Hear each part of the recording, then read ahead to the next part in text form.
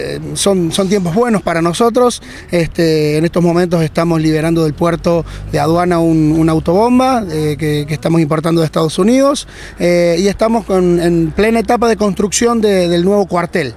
Estamos en un 50%, te diría estimativamente, de, la construcción del, nuevo cuartel porque bueno, como todos sabrán, nuestra, nuestro cuartel funciona en un predio del, ferrocarril y bueno, anhelamos la casa propia, así que bueno, en un tiempo más vamos a estar de, estreno. ¿En qué sector la levantan, el nuevo edificio?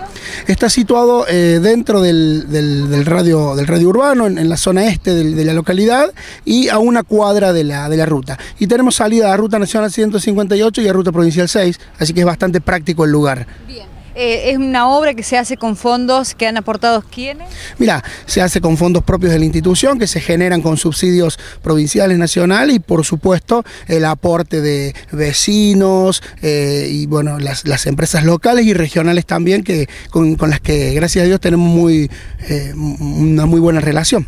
Marcaba que llega un nuevo vehículo al parque automotor de bomberos, ¿es por una renovación, se cambia por, otro, por otra unidad o se suma?